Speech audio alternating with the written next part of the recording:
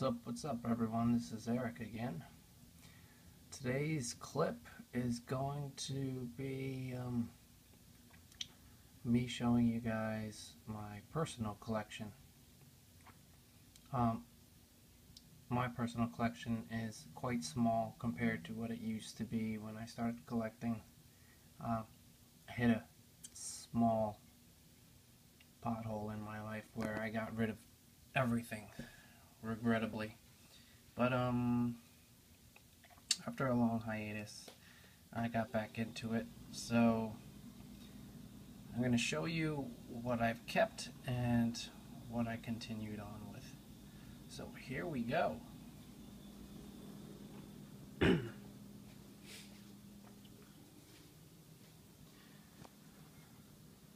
this is a personal collection. This is the Avengers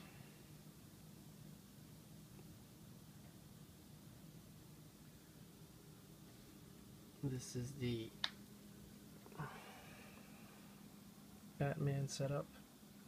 Now, um, that is the uh, Dark Knight version of the original suit. And if you look at it closely, the suit has held up very nicely. Um, only because I tend to try to maintain and keep it the way, uh, keep it out of extreme poses for a significant amount of time so it doesn't crease where it shouldn't.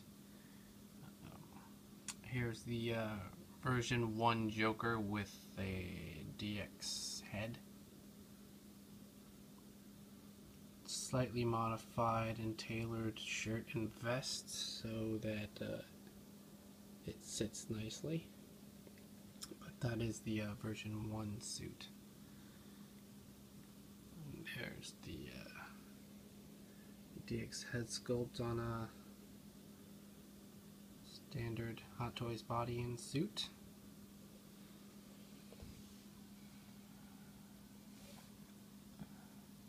There's my modded uh, Bane.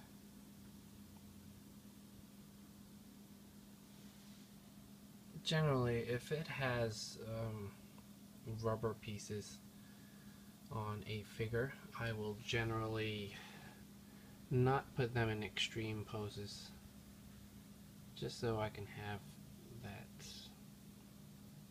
really so I can maintain the actual body structure from the rubber. These are a sideshow Medicom, Hot Toys, mixed shelf here, all Star Wars. The three clones in the back are Medicom. Sideshow's Boba Fett and Clone Trooper version phase 2 or 3. I think it was phase 3. Um, the Hot Toys Luke. Um, gotta thank my friend John for that. He gave his battle damaged half version to me for no reason except for being cool. Um, these are the uh, kit bash version of um, Han Solo. Those were the uh, sideshow clothing and accessories uh, with a Medicom head and new line boots which are actual real leather which I love. It works really well. I think I put it on a Hot Toys Slim Body. Um, this one is the Medicom Han Solo with the Medicom head. Uh, Medicom accessories and clothing with the exception of the uh, boots. Again new line um, though this time I used a soldier story body. So, kind of get the sense that it flows a little better. Um, when I do get a chance, it will slightly modify the body so it looks almost seamless. And uh, oh, show you my Deadpool custom. Soldier story body, a wall of guns. Sitting up there. Acting all cool. Um, after Hot Toys came out with their first Spider-Man, it kind of like uh, inspired me to do this custom. So it's a fully single suit. It's a body suit, just made out of an extra throwaway T-shirt and a Sharpie. Um, that's put on a Soldier Story body. Now um, I'm going to try to get some lighting onto this so you can get some actual detail. Nope, can't do it. Not right now. I'll give you guys a closer look at that. Um, in a different video if you post enough comments and interest in it. uh, we're going to move on to the second detail. There's uh, the Iron Man. The Mark II is actually um, a Hurricane Sandy victim. Kind of had to gut out the insides because uh, all the rust and battery that broke apart inside. But um, I actually went with in with the Dremel tool and buffed out a lot of the rust.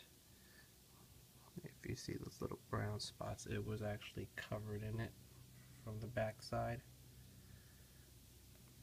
But I got quite a bit of it off, and um, can't really tell it was a survivor. Um, Tony in the suit on a Soldier Story body. Um, the crappy Hot Toys clone body for the uh, left-handed Tony Stark.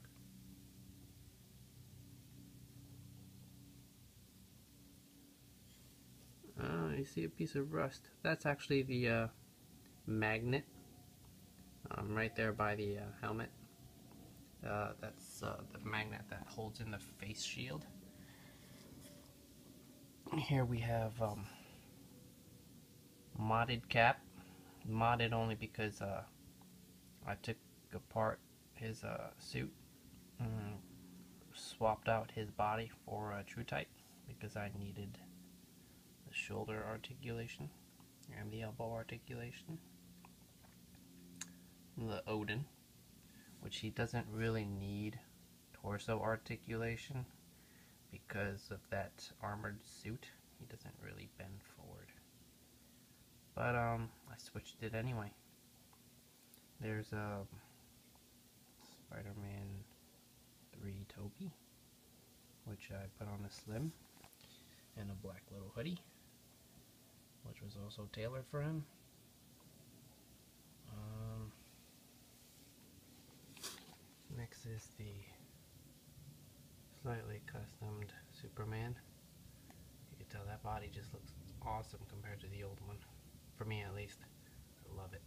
Uh, we have the King from, I think, Art Figures. And uh, just threw in a little bit of something, the real leather boots, instead of those plastic molded ones that it came with. Um, I actually added hair to his head. If you have it, you would see the difference from yours.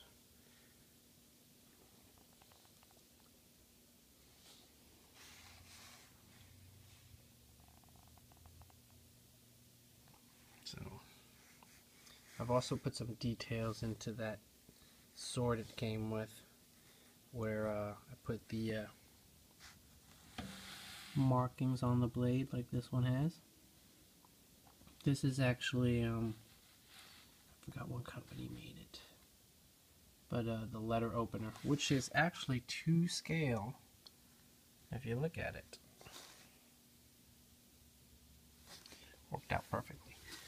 These are what I kept from my old collection, only because I love these and um, couldn't give them up. They were just too good. These are DID, uh, also known as Dragon in Dreams figures. They're Samurai series. Uh, they're all the international um, versions. I know the uh, Japanese exclusive versions came with backdrops and fancy stuff like that. Um, but this one I kind of kept. Though I didn't like Dragon and Dream bodies, so I swapped all of them for Hot Toys Slim bodies, which gives it just that much more realism. I mean, the suits themselves, you know, cloth suits with plated metal and, you know, the threading. It's all there, man. This one is actually uh, Hurricane Survivor that uh, I redid. The original is behind him. That's what the suit would have looked like. This is what it looks like after being rusted for a while and yeah, being taken care of. Not really. You tell the brighter and more vibrant than before it kind of dulled out. But what do you expect being submerged in seawater? That's a little custom base I made for him. And those are my dragon bodies. Uh, I mean, uh, dragon stuff. Okay, so um, now I'm gonna move on to my military figures. And uh, the prize crop of my military figures is probably this guy, this setup. Now I made the base myself um, with uh, foam and paint and a lot of plaster. Um, these are all Soldier Story figures. Most of them were kit bashed. Uh, I just took parts from their Afghan Helmand, province figures and made up my own little squad. Now if you look at the details I put into the base. Yes, those are bullet rounds. Yes, that is grass and sand. I'm trying my best.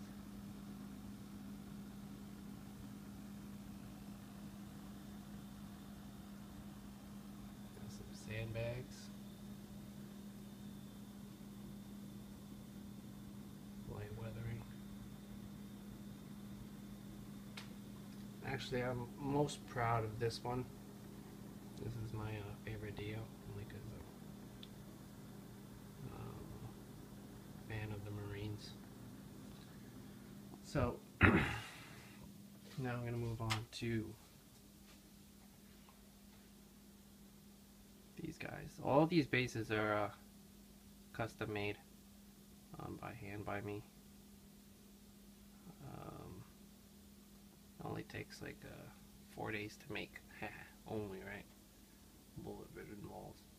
These are uh, the EOD Soldier Story figures with the I forgot the name of the I forgot the name of these guys. SEAL Team 6, I believe. Um, most of these bo most of these Soldier Story figures are stock out of the box with an exception of um, me adding different stuff to them. Just adding extra, like uh, cloth gloves, and maybe I'll just swap out the feet for uh, cloth boots. Um, this one was my interpretation of some weird post-apocalyptic character. I'll probably go in and uh, repaint that helmet black just because I want it to have a dark theme to it. Um, these bases I did not do. That was actually uh, given to me by Jack. Cool guy from the forums. I believe uh, he hate sh- she hates me is his uh, username. Can't remember. But um, these are the CIA. Oh, I'm sorry, the SAD Black Ops version two and no, I'm sorry, version one and three. I didn't like version two with that um half mask. Excuse me. Um, this is a kit bashed military figure. I have no idea what I was doing when I was putting it together. I just put it together not through reference, but through what I thought might look good. That's about it.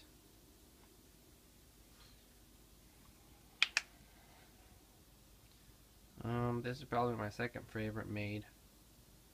Um, these are Army Rangers, not Marines.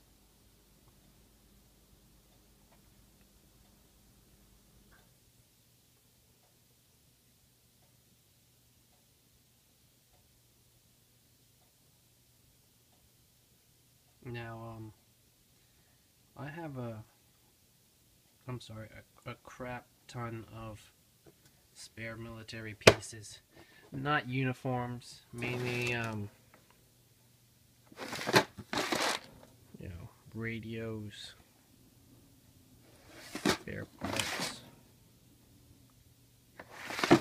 and a huge tub of, you know, those are spare parts, spare parts, bins. You'll, you'll get a lot of these, uh, when you start modding. Um, they're really just, those are just a bin full of cloth boots, heads and necks. But, um, yeah, this is my collection. These are the boxes I liked displayed. Uh, you guys got any questions? You see like that bazooka he has and no not not bazooka but the missile launcher. Um, also given to Joker. I have many spare weapons. If you guys are interested, shoot me some comments. Maybe I'll just send them out to you. I'm just trying to get rid of it. I don't need to sell it. I don't need to trash it. Um, if you're interested in any sniper rifles, rifles, I don't have many um, M1s or AKs, but uh, I have many of these type of sniper rifles up to the top right that I could just oh and uh you know bull pups like that. Or even like the uh, H&K G36s I have plenty of those hit me a comment and um I'll see what I can do for you guys. And that has been my collection guys. I hope you enjoyed it. Have fun.